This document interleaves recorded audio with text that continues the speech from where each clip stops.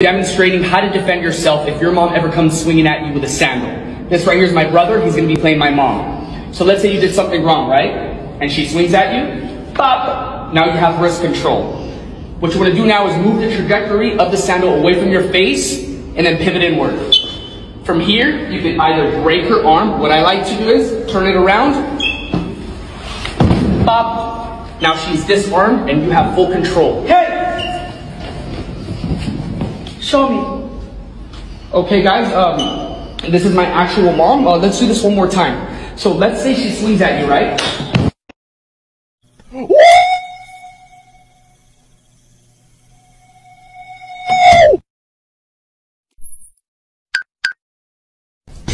Mama! I don't really know where it is even in your knee. So what am I supposed to be doing here? Uh, I guess it's just like trial by fire, and you just guess. Whatever you're eating right now probably shouldn't go in your face hole. Which hole should it go in? Somebody please help me. There's a lasagna in my